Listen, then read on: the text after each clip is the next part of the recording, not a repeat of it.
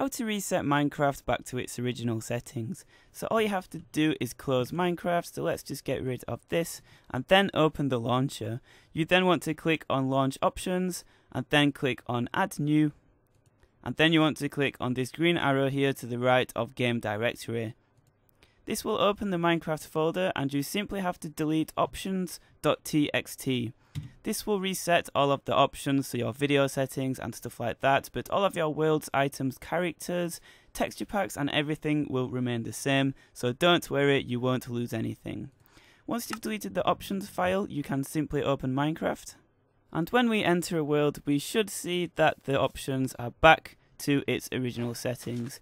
The sensitivity has changed and the 3D-ness has now gone and Minecraft has now reverted back to its default settings. Thank you for watching, please leave a like and a nice friendly comment if this tutorial helped. It lets me know that I helped you guys out and that would be awesome. So thank you for watching and I'll see you guys later.